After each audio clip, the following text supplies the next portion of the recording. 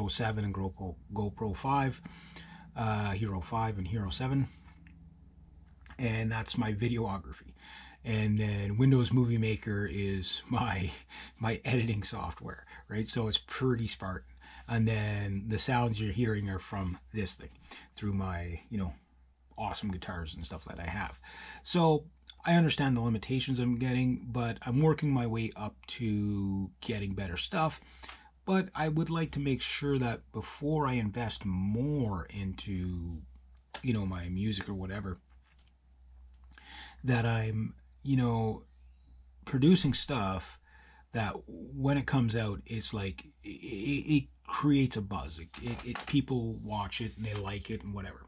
Now, on an extremely tight budget, you can do a lot with little you know it's always the case the more you know the less you need but there's also that problem of just limitations of what you're going to hit.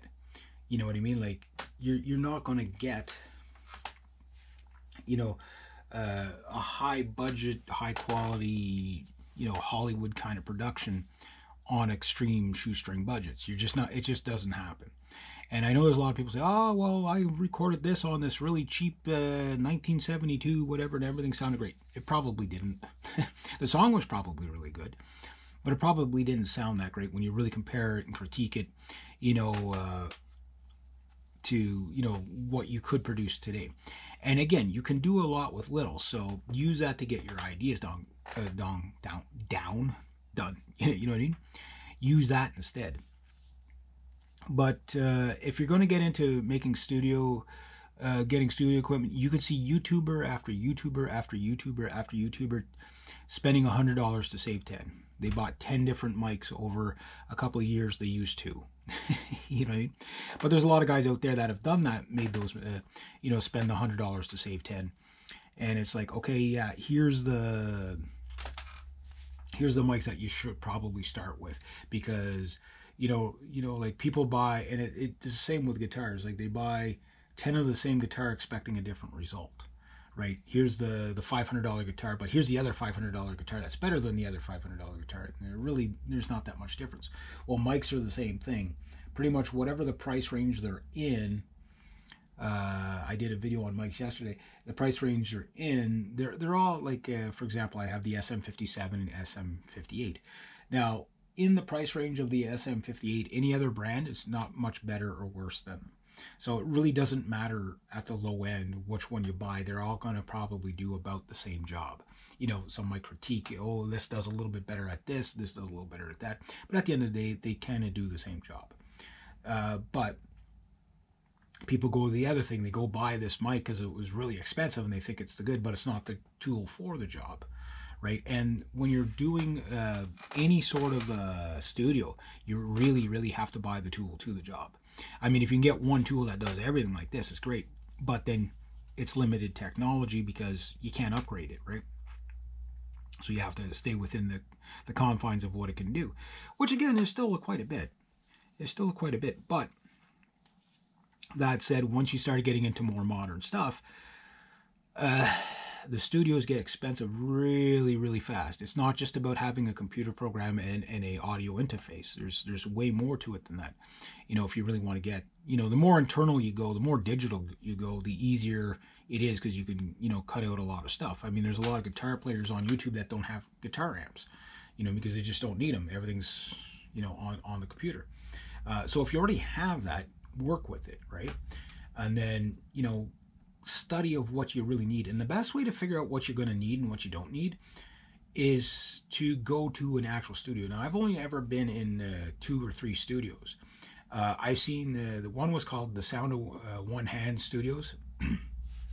I guess it was a, a Rush kind of spinoff, uh, but um, uh, that was like as Spartan as you could possibly. It was literally, you know, a booth and it was like two rooms. It was it was it was the smallest, uh, but it was cheap. It was like fifteen bucks an hour. And my buddy and I went there, and he recorded. I didn't. But I went with him, and I saw what the process was. And at the time, it was older consoles and stuff like that. It wasn't digital yet. Uh, the the next one I went to was like a multi-million dollar studio, and I did a tour of it and it was Raven Street Studios in Ottawa. Like that was about as high production a studio as you could get, but they got like government contracts. They got you know very you know commercials and stuff like that. So they had like you know full sound engineer, 72 channel boards, and you know you know like state of the art, state of the art, state of the art, right? And again, that was back in the 90s. So you looked at what it costs to go there and you look at what it costs to go there now, you go there to a place like that where you're dealing with engineers that'll say, buy this, don't buy that. Uh, because this will work, you're just wasting your money on that. You can get more for less, you know, and then you got the other guy that just buy the cheapest of everything and that'll be just good enough. It doesn't matter what you buy. And I disagree with that philosophy um, 100% because it does matter what you buy. Uh, you know, mics have character, speakers have character, and tool to the job. You know what I mean? So it's not about the money as much as that you're throwing the money in the right direction, right? So for me to upgrade from this is a really one of those things that what I'm focusing on is having all the tools I need in the studio the guitars, the basses, the drums. Uh, drums is the next thing, and then maybe keyboards. Then after that, I got violins and mandolins and stuff like that too. Uh, so for me, I'm focusing on the instrument act, um, angle of it. I can live with this for, well, until it burns out on me or whatever. Uh, you know, considering how old it is, is I mean, it's, it's, a pretty, you know, 2006 was a long time ago. Uh, but the thing I, I, I'm noticing is that I'm also getting a lot of, you know, on, if you want to say it on the cheap, I'm getting a lot of, you know, how to record, you know, how uh, the vocals is the thing I'm having the most. Guitars, I, I think I got down pretty good. The bass, I got down pretty good. The drums, I don't have experience with the drums yet because I don't have my own drum kit. But once I do, you know, and the nice thing is, is one thing that exists nowadays that didn't exist back when I bought this is all like YouTube uh, hadn't even started yet when it, you know it was this is like a year before YouTube started. I think they started in 2007 or something like that. So I mean, you know, don't quote me on, but it was pretty much just before that, right? And now you can get all kinds of tutorials on how to set up mics on drums, how to set up mics on guitar amps, and and how to record vocals properly and stuff like that, and how to do it on a budget and you you know always best to work with what you got right and produce the best you can but at the end of the day if you really want that perfect perfect uh, uh, production i'm going to go with what uh, Frederico from uh, Frozen Crown was saying in, in one of his interviews about, you know, like don't try to do it all yourself. You know, like save up some money, go to a studio, pay somebody who's, you know, got years and years and years of experience and you're not necessarily going to be a student there but you you know be observant when you're in the recording process of how they're doing things so that you have a reference point of where to start. Save yourself a lot of trial and error so you can get the most out of something like this right? And once you do that and there's a lot of things i've learned over the years of what works and what doesn't. Uh, double tracking my guitars you know just something as simple as double tracking my guitars. Uh, i only started doing that last year you know, because, you know, uh, I was listening to another YouTuber, Barenth, who's, you know, he started talking, and, and of course, uh, you know, Spectre Studios and stuff like that with Glenn and other, you know, other studio guys are saying, yeah, always double track your guitars, especially for metal, right? And double tracking vocals and stuff like that. Suddenly, once you start knowing about that stuff, you when you listen to music, the next thing you, you notice is that you start to hear more things in songs. It's like, oh, they did this. Oh, there's three vocals there instead of just one. Uh, and how they get the second vocal in there without it being intrusive, right?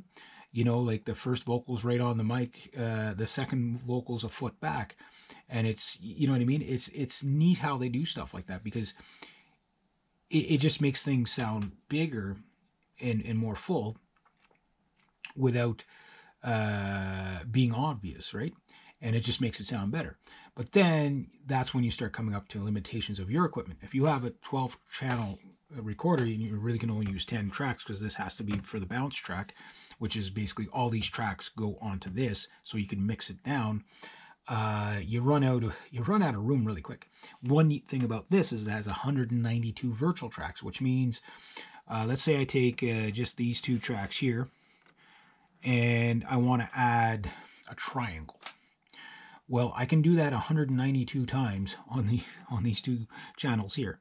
So I can, you know, use a uh, or, or maybe not quite that much on one channel, but I can I can add extra instruments per so let's say I got the guitar here, the second double track guitar here, the lead guitar here, the bass here, the drum here is all. Uh, also, too, this is uh, really I got eight tracks uh, or yeah, whatever.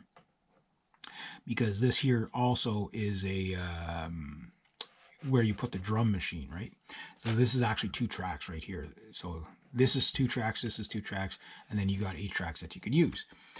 Uh, now the thing about that is you run out of tracks and if you use the virtual tracks you have to get the volume match perfectly because you can't separate the the the two things. So let's say i put a guitar and a mandolin on uh, these two tracks here. They have to be at the same volume because i can't adjust it after like after i record it. If one's louder than the other too bad. You know what i mean? So that's a limitation where if you had an extra row of faders you could you can control it a bit better so that's what I mean by like running up against limitations and stuff. So when you start learning that, that you can't do everything with what you have, you have to start to find other solutions. And there's solutions is not just about always throwing money at stuff because sometimes that's not the solution.